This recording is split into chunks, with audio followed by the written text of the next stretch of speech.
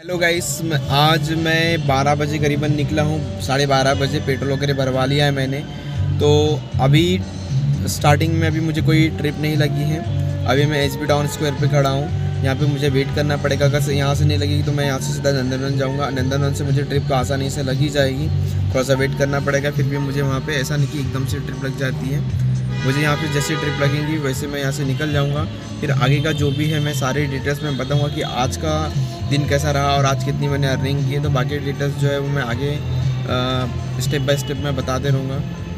तो अभी तक मैंने तीन से चार ट्रिप की है, जिसमें मेरा 700 कुछ रुपए का अर्निंग हुआ है और अभी समय हो रहा है करीबन तीन बजा है समथिंग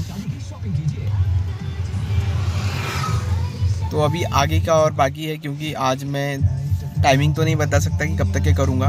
पर जो भी करूँगा मैं पूरा वीडियो डिटेल्स में ज़रूर बताऊँगा कि आज मैंने अर्निंग कितने की कितनी ट्रिप मारी और कितने कितने का ट्रिप जो हुई थी। मैं पूरा उसका स्क्रीन मतलब उसका स्क्रीन रिकॉर्डिंग पूरा शेयर करूँगा आपके साथ। और आज कैसा दिन रहा मेरा वो भी बताऊँगा। फ़िलहाल तक अभी तक तो मेरा दिन काफ़ी अच्छा गया क्योंकि मैंने तीन से चार ट्रिप में सात सौ कुछ रुपया बना लिया और मेरे लिए बहुत अच्छा आ, मतलब ये अभी तक का टाइम बढ़िया है।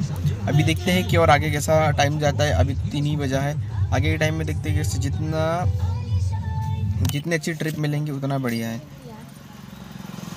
और दूसरा ऐसा है कि जितनी लंबी आप ट्रिप मारोगे ना, उतना बेटर है। जितनी लंबी ज़्यादा ट्रिप रहेंगी, जितने अमाउंट की ज़्यादा रहेंगी, जैसे 400 500 600 की ज़्यादा ट्रिप रहेंगी, उसमें कमीशन भी कम करता है। तो ये सारी चीज़ें हैं और अभी देखते हैं आगे में क्या है। अभी तक मुझे ट्रिप नहीं लगी, अभी मैं जयताड़ा में रुका हूँ।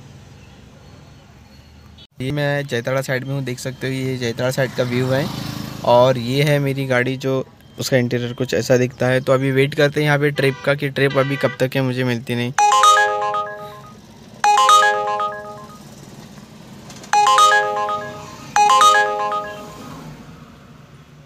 तो मैंने आज पूरा डिटेल्स के साथ मैं बता रहा हूँ।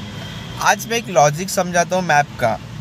उबेर के मैप का एक लॉजिक समझाता हूँ कि बहुत से लोगों को नहीं पता कि जो जितना भी रेड जोन होता है ना, उस रेड जोन में जितना वो फ्लो दिखाता है ना, उतना फ्लो होता ही नहीं है। तो ये रेड जोन के चक्कर में कभी रहो ही मत। ट्रिप कहीं से भी लग सकती है। और जो मैंने अर्निंग की है, वो आप देख भी सकते हो, मैं दिखा रहा हूँ, पूरा स्क्रीन पे चल रहा है ये। आप इसके देख सकते हो, और ये जो मैप का जो मैंने बताया ना, ये मैप ऐसे ही बनाता है बुद्धू। रेड जोन यहाँ कभी वहाँ कभी इधर कभी उधर रेड जोन ऐसे ही चलते रहता है। कोई एक बंदा अगर से वहाँ एक्टिव हो जाए ना तो वहाँ पे रेड जोन हो जाता है। और वहाँ दो बंदे एक्टिव हो जाए या फिर और भी ज़्यादा हो जाए तो वहाँ पे और ज़्यादा बड़ा एक्टिव मतलब रेड जोन हो जाता है। तो ऐसा कुछ भी नहीं है। ट्रिप कहीं से भी लग सकती है नए बंदों हो को आ, पता नहीं है तो मैं नए बंदों के लिए तो बता रहा हूँ पुराने लोगों को तो पता ही ऑलरेडी तो नए जो नए हैं इस फ़ील्ड में तो वो ध्यान दें। तो आपको ट्रिप कहीं से भी लग सकती है। अभी सडनली अभी नागपुर में है नहीं उतना काम, क्योंकि मैंने अभी आज भी काम ज़्यादा नहीं किया हूँ। इंसेंटिव पकड़ के पंद्रह सौ कुछ का काम हुआ है और रात का बज रहा है, नौ बज के छत्तीस मिनट हो रहा है और मेरी गाड़ी चल चुकी है समथिंग एक सौ छत्तीस किलोमीटर जिसमें मुझे आठ सौ रुपये का पेट्रोल लग गया। तो अब इसमें सोचो कि मुझे क्या बुराया होगा और क्या बचा होगा। फ़िलहाल मैं मजबूरी में चलाना पड़ता है। तो बस आज के लिए इतना ही। मिलेंगे एक नई वीडियो के साथ। तब तक टाटा बाय बाय